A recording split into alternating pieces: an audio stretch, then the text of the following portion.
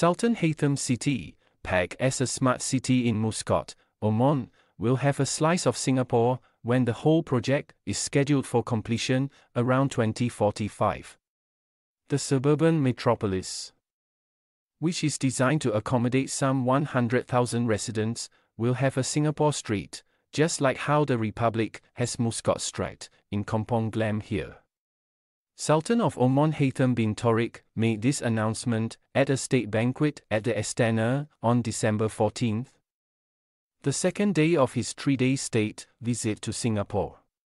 In a speech, he underscored the excellent relations between both countries and said he was very satisfied with the discussions that are taking place at various levels of both governments. Oman is keen to develop strategic partnerships in all areas, he added.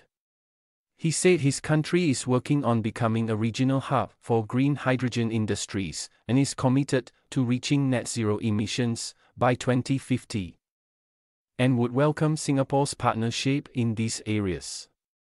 Both Oman and Singapore will continue to work closely together, learning and benefiting from each other's experiences and strengths to the mutual benefit of both countries and our respective regions. He added. Speaking at the banquet, President Tharman Shanmugaratnam said Singapore has also benefited from Oman's insights and perspectives, and the Republic looks forward to both sides learning from each other and opening up new areas of collaboration. He called the Sultan's state visit a major milestone that enables us to build on this momentum of strengthening relations following a fruitful year.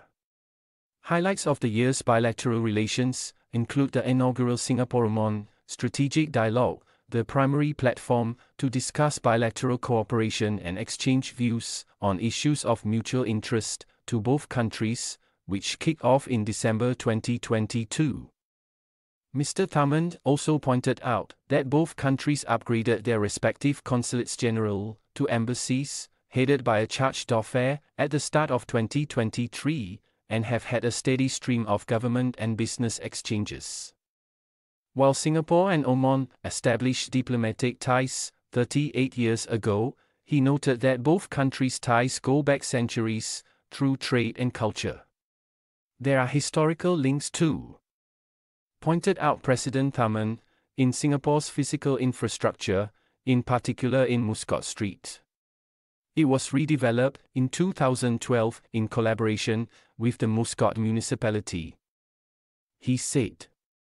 8 meter high granite arches, with ornate Omani carvings, grace both ends of the street, which is also decorated with murals painted by Omani artists and mosaic artwork. Mr. Tharman said, it is a thriving part of the Kampong Glam Heritage District. In fact, I would say it is one of the liveliest parts of the district. The visit by the Sultan and his delegation marks a new chapter in relations between both countries. Said Mr. Tharman, who is hosting his first state visit since taking office. The Sultan, who is on his first state visit to Singapore at the invitation of President Tharman, is accompanied by a high level delegation that includes ministers. Sultan Haytham also met separately with Prime Minister Lee Hsien Loong at the Istana earlier on December 14. The Ministry of Foreign Affairs said both leaders welcomed the good momentum in bilateral exchanges and the convening of the Singapore Oman Strategic Dialogue, and had a useful exchange of views on regional and international geopolitical developments. In a Facebook post following their meeting, PM Lee said Sultan Haytham shared Oman's plans to build up its renewable energy, logistics, and other sectors, and that Singapore is happy to explore opportunities with Oman for mutual benefits. He also noted that both countries are maritime nations straddling strategic waterways and recognizes the importance of a rules based international order, multilateralism, and open trade. As a member of the Gulf Cooperation Council, Oman participates in the Council's Free Trade Agreement with Singapore GSFTA. Said PM Lee. He added, Singapore looks forward to working with Oman towards the upgrade of the GSFTA, together with our other Gulf partners. During the visit, two memorandums of understanding MOUs were signed. The first is between Singapore's Ministry of Culture, Community and Youth and Oman's Ministry of Culture, Sports and Youth. Both countries will explore mutual exchanges and cooperation in the areas of cultural and youth development.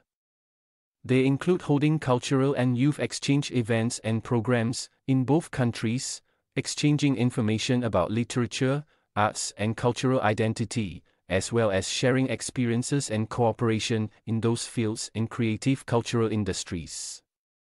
Through the MOU, both ministries are also encouraged to support translation and publishing initiatives and facilitate the publication of literary works in both countries.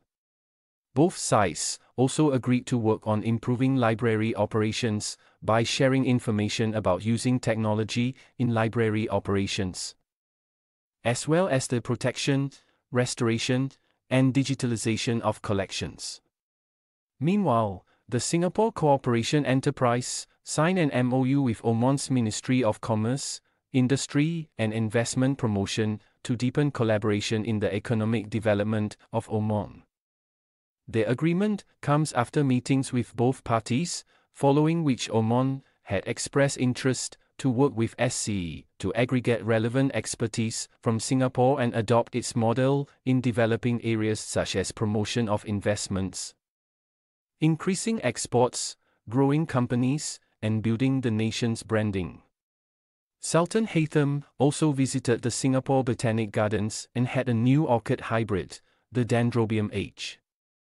M. Sultan Haytham bin Tariq, named in his honor. It is a robust, free-flowering orchid hybrid that produces semi-arching inflorescences of 40 centimeters in length that bear 25 to 30 flowers, said the National Parks Board. Deputy Prime Minister Lawrence Wong will call on Sultan Haytham on December 15.